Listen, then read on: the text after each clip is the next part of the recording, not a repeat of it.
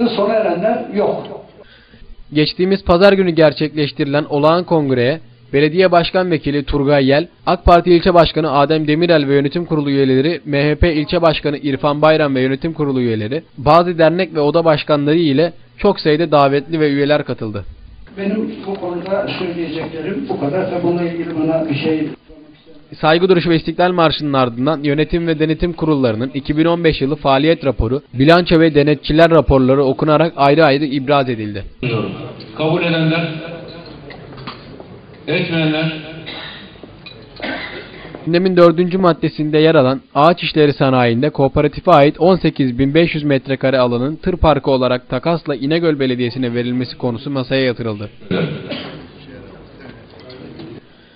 Madde üyelerin tepkisine yol açtı. Söz alan üye Salih Özkan o kadar büyük alanın belediyeye verilmesine tepki gösterdi. 80 lira ödedik geçen sene. bir yıllık değil mi? Evet bir yıllık. Aya kaç lira geliyor? 30 lira falan. Veya Niye, sene niye 30 lira geliyor? 580 lira ayda 60 lira mı gelir?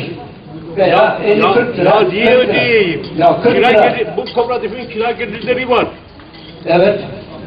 Bu e, biz bu kooperatifi bitirsek de dönsek kat irtifakına daha aidatlarımız az olsa daha güzel bir e, şeklimiz olsa daha iyi. Özkan.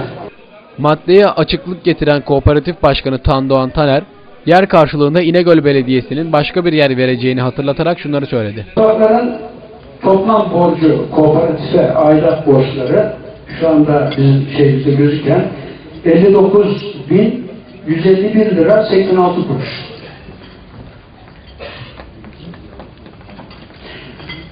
Tuhaf gelen gecikme farkı 41 bin 135 lira 30 kuruş.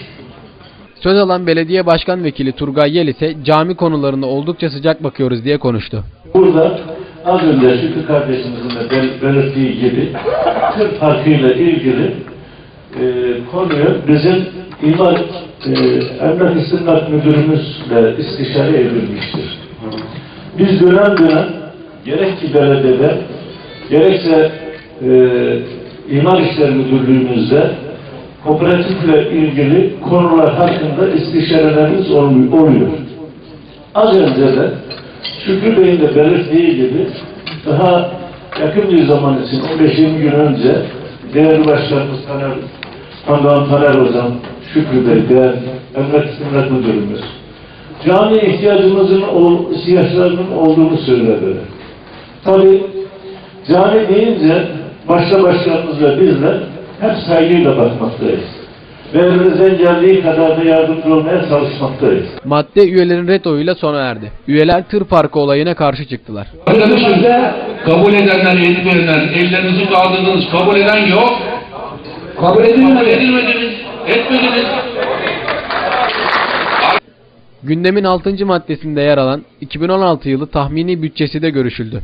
2016 yılı için 1 milyon 984 bin TL oylamaya sunuldu. Oy birliğiyle kabul edildi. Parsel numarası belli, Allah aşkına okudum ya. Bu kadar da değil ya. Gündem içerisinde yeni yönetim seçimi de yapıldı. Tek listeyle gidilen seçimde Tandoğan Taner yeniden başkanlığa seçildi. Yeniden başkan olan Tandoğan Taner üyelere teşekkür ederek çalışmalara hız kesmeden devam edeceklerini ifade etti.